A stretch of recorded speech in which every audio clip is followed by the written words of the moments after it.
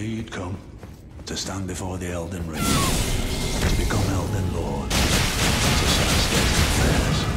I commend your spirit, but alas.